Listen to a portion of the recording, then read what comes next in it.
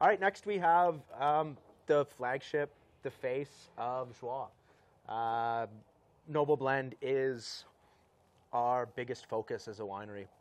Um, it's our, again, our most in, that takes the most work, the most effort, the most focus to, to make Noble Blend every single year. So this is a collection of 11 different vineyards. Um, it's, uh, it's fruit sourced from Oliver all the way to Summerland, and it's styled after an Edelzwicker. So it's styled after uh, really like fresh, vibrant Austrian, uh, Alsatian style um, of everyday drinker. Every year for us, this is always Noble Blend is the first wine we make.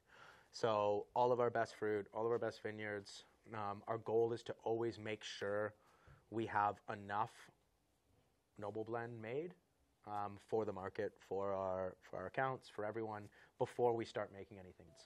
Uh, so Noble Blend for us will always be a, a dominant blend of Gewürztraminer and Riesling. That makes up about probably 70% of this wine. Uh, after that, we have your classic noble varietals from Alsace. So we have Pinot Auxerrois, um, Muscat, a little bit of Pinot Gris some years, not every year, and then Pinot Blanc. So depending on the season, the the um, a little bit of Ehrenfelser some years as well, but we're talking 1% or 2%, so quite a small amount.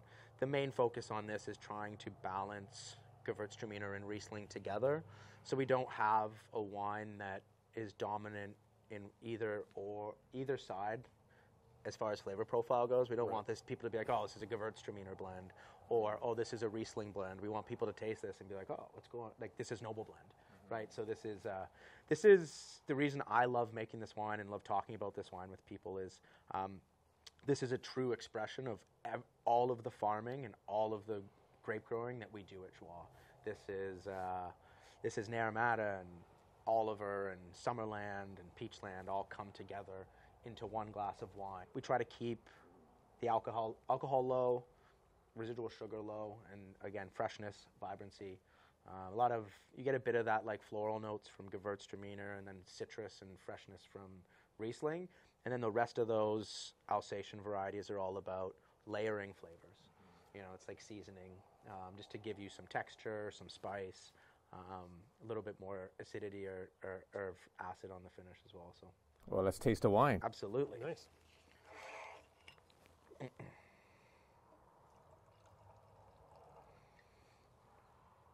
Very aromatic. Super aromatic, yeah. I, I think, again, Gewürztraminer and Riesling from the Okanagan. Um, we have Is this the. uh, Gewürz?